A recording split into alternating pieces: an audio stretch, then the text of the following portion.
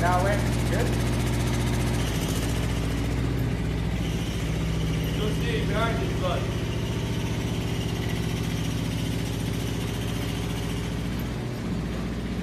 you, bud.